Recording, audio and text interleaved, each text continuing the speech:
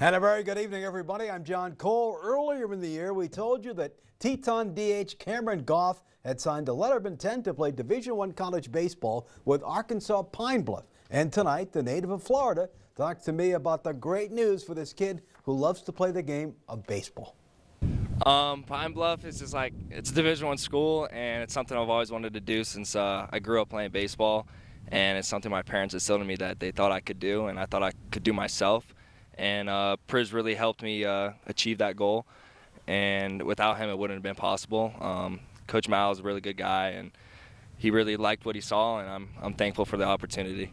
How did they see you? Uh, through Priz, just sending them video, and um, they liked it, and they decided to reach out, and that's how I made my decision. Nice to be able to play at the highest level of college baseball. Yes, sir, it definitely is, and I'm really looking forward to it, and hopefully we can make it last for for two more years. What did they say they liked about you? Uh, the swing, my swing, and so hopefully that'll play at the next level, at the, the highest level. Quite a baseball journey. Florida, North Dakota, now to, to Arkansas. It's been quite a journey. Yes, it has, and I, I enjoy doing it. That's why I'm still doing it, and uh, I think I'd do anything to keep playing this game as long as possible, and hopefully uh, that goal will be reached too. And baseball's baseball. Yes, it is. Always will be.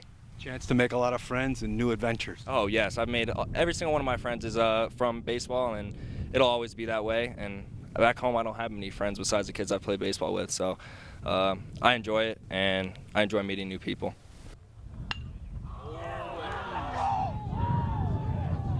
Touch them all. All righty. It's a beautiful swing. No question about that. He and his teammates who swept Bottineau yesterday Next in action, Saturday at home against Dawson at 2 p.m. We hope the weather warms up. Well, the morning rains move the Williston versus Minot tennis match indoors to the Arc this afternoon. Let's take a look at Williston's top doubles team. That is Williston senior Gracia Tong, good athlete, serving Minot, and then it's Kyle Presley Larson is going to drill it. Also, a senior Tong serving, and Minot too strong on the return. So out of the gates in front of the home folks, Kyle's looking real good. Minot's Lila Olson is going to drill one. Williston can't quite return. Of course, longtime rivals in tennis. Olson serving now, and she can't return the shot from Tong. Minot serving this time around, and this time it's the Coyotes who uh, can't quite get it to go over. And of course, 20 years ago, they would have had to call this off, so we love the arc, that's for sure. Baseball Coyotes were supposed to meet Minot this afternoon in the Magic City. Twin Bill has been rained out. It's been rescheduled for April 25th.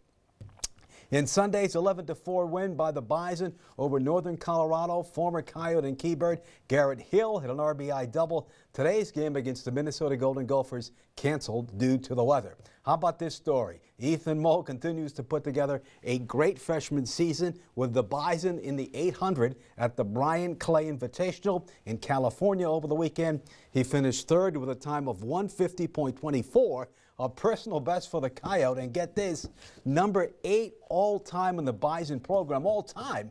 The winning time was 149.22 from Jake Orr of BYU. And if you're a Coyote track fan, you're not surprised at all. Just an incredible young man. What a talent. All right, let's take a timeout on First News at 6.